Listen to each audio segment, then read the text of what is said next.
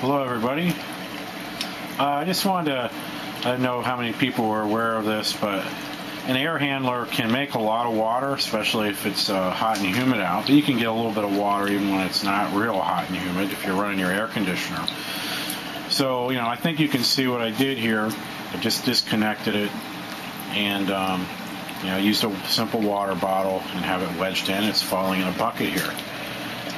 Um, I'm probably right now it's August here in Southwest Florida. And I'd say on average I'm probably creating 50 gallons a day of water. Now you might say, well, gee, why would you ever use that? I mean, most of the time, if there was an emergency, if you don't have water, you're not going to have electricity. However, there are some scenarios where you might still have electricity, but the water's cut off. You know, maybe some kind of terrorist put, you know, poison in the water supply, or you know, who knows? Okay.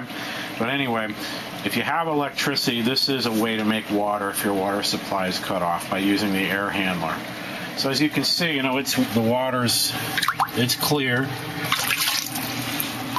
It tastes like water. There's no funny taste. I would probably put it through a filter if possible if I was going to drink. I wouldn't worry about it if I was doing dishes, uh, using it to bathe or something like that. I don't think I'd worry about it. If I was giving it to the dogs or myself to drink or cook with, I'd, I'd want to run it through a filter, definitely.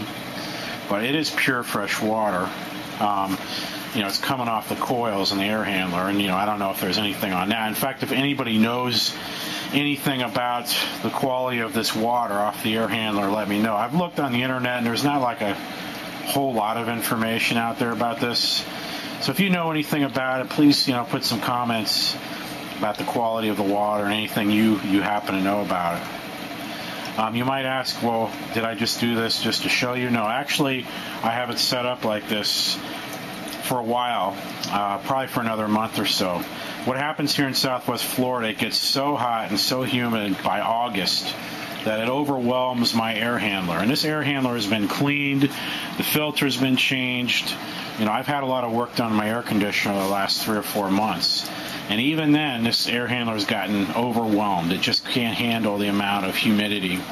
And what's happening was starting to back up, and then I get leaks. So when that happens, and I usually have to do this every year in August, I set this up, and then I just dump the water out out the back door. So I usually dump once in the morning and then I dump at bedtime. And this will get filled up, you know, about to here if I'm not checking on it, which makes it a little too heavy to deal with. But this is an example. So if you ever need to create water when you got electricity, this is an easy way to do it. Of course, it's easier when it's hot and humid out, but you could create a little bit even when it's not. All right, if you have any questions or comments, feel free to let me know. Thanks.